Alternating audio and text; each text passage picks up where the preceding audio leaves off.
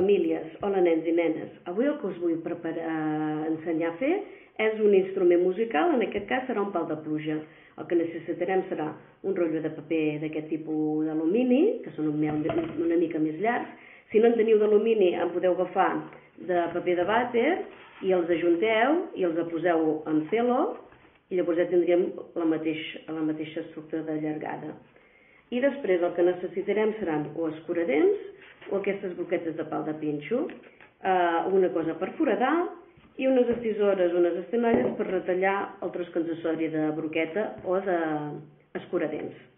El que farem serà, al voltant de tot el nostre rull, és fer-li uns forats, que el travessaran, perquè ens ha de travessar el nostre escuradents a, fins a l'altre costat de, de rotlle. Llavors farem un forat en aquest costat i un forat en l'altre. No ha de ser en la mateixa alçada, també pot ser en perpendicular, pot ser diagonal. Llavors, aquest, veieu? El posem així. Es veuen aquí dins. I així hem de fer uns quants, que uns passin per, aquest, per aquí, uns altres que vagin per l'altra banda, i així fins que tinguem uns quants de fets.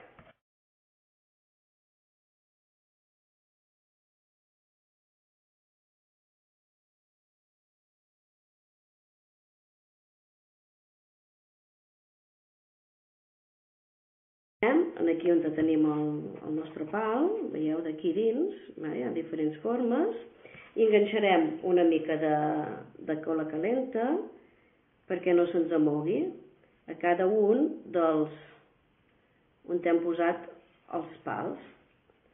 I així fins que completem tot el rull. Ara ja tenim tots els pals col·locats, si ho podeu veure, està tot ple, per un costat com per l'altre. Veieu aquí on he posat això, està vermell, és la silicona que, que he anat enganxant perquè es vegi, perquè no se'n se, vagi els pals. Ara el que farem serà posar un cartró eh, que sigui una mica fort, val? en la base, i com que ja tinc la pistola jo aquesta silicona calenta, doncs li posarem perquè, per enganxar-lo més ràpid i més fàcil. Ho podem fer amb cola blanca, ens haurem d'esperar que s'assequi que s'assequi completament. Veieu?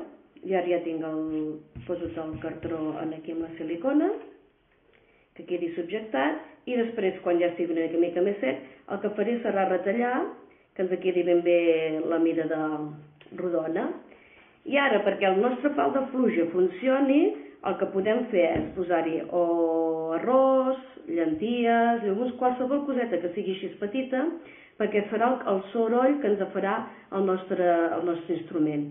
Ara, per exemple, nosaltres aquí podem, jo tinc aquí un, un, un embut, que puc fer és provar de posar una quantitat d'arròs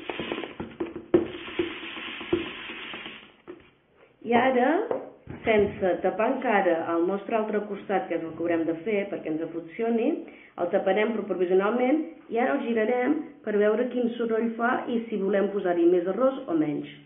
L'haurem de girar molt a poc a poc, eh? Així.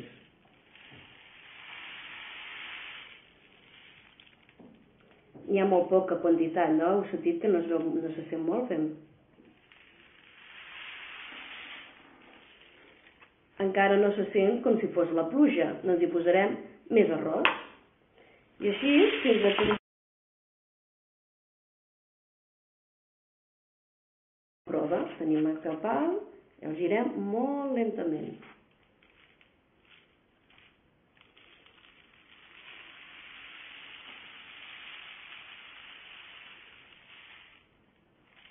I quan ja tenim el sol que ens agrada, ara ja seria un son maco, D'acord? Doncs el taparíem.